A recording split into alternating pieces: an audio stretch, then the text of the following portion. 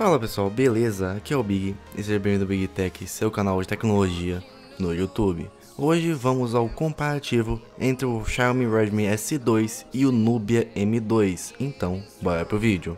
Do lado esquerdo nós temos o Xiaomi Redmi S2 rodando Android 8.1 e do lado direito nós temos o Nubia M2 rodando Android 6.0. Vale lembrar que o link dos dois com mais detalhes e o preço atualizado tá aqui na descrição e também no primeiro comentário. O Redmi S2 possui uma tela de 5.99 polegadas de resolução 1440 por 720, tecnologia IPS, proteção não foi divulgada nenhuma proteção na tela dele e o PPI é 269. Já o Nubia 5.5 polegadas, resolução 1920 por 1080, tecnologia AMOLED, proteção Gorilla Glass 4 e PPI 401.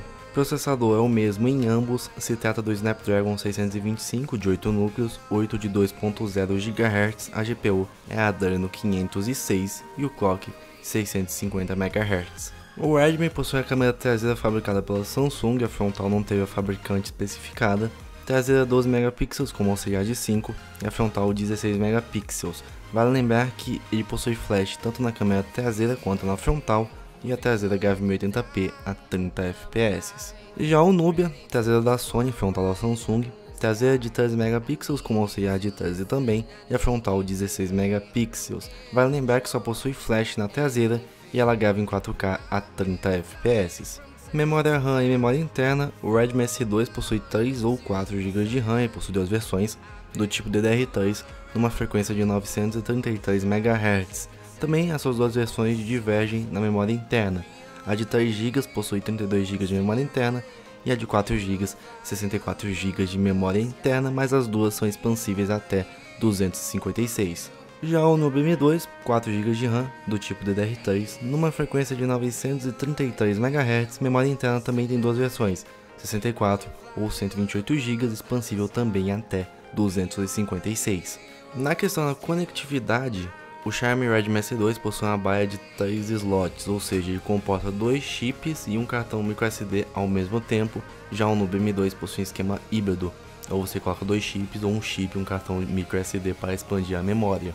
O Redmi S2 possui Bluetooth 4.2, Wi-Fi BGN em 2.4 GHz, possui GPS, AGPS, GLONASS e Beidou, 4G que funciona no Brasil e a entrada microSD 2.0 para carga e transferência de dados.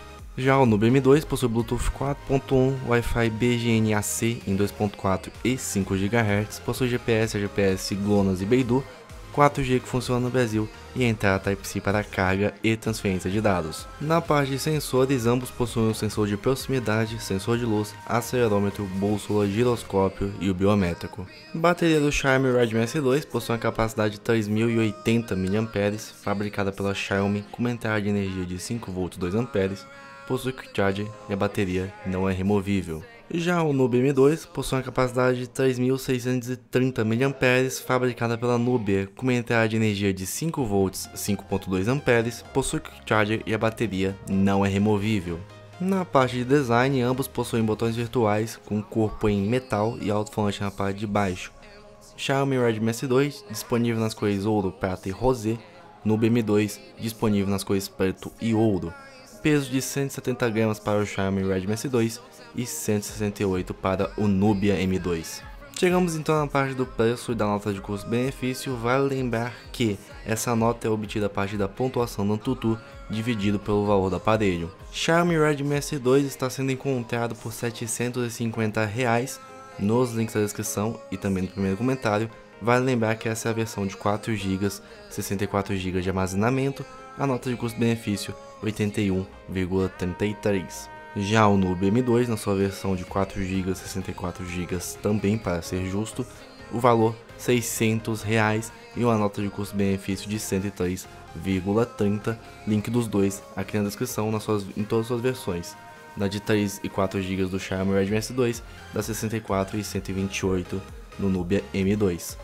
Chegamos então na parte que define quem ganhou e quem perdeu. No quesito tela, melhor ficou para o Nubia M2, porque ele possui um PPI maior, já que tem uma resolução Full HD, tem proteção Gorilla Glass 4 e a tecnologia é AMOLED, então isso faz a tela dele muito melhor do que a tela do Xiaomi Redmi S2. Na questão de processador, não preciso nem explicar, né, o mesmo processador, então deu empate. Na questão de câmeras, eu estou com o Nube M2 para análise e pelas imagens que eu vi da câmera do Xiaomi Redmi S2, a câmera do Nube M2 tem melhor qualidade.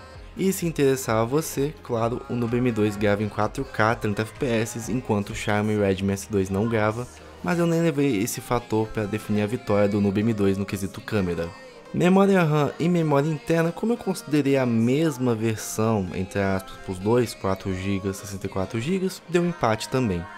Conectividade aqui é meio complicado de falar, porque se você for uma pessoa que vai usar dois chips e usar um microSD também, eu te recomendo ir de Xiaomi Redmi S2 nesse comparativo, porque o Nube M2 ele possui a baia híbrida, ou você usa dois chips, ou você usa um chip e um cartão microSD.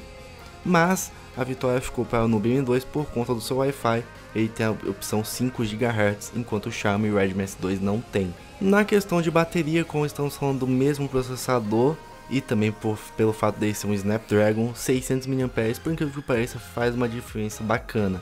E também tem o fato que o Quick Charger do Nube M2 é bem mais rápido do que o do Xiaomi Redmi S2, então vitória para o Nube M2 no quesito bateria. Bem, no quesito custo-benefício, vocês acabaram de ver que o Nubia tem uns 20 pontos a mais do que o Xiaomi Redmi S2, então vitória para o Nubia.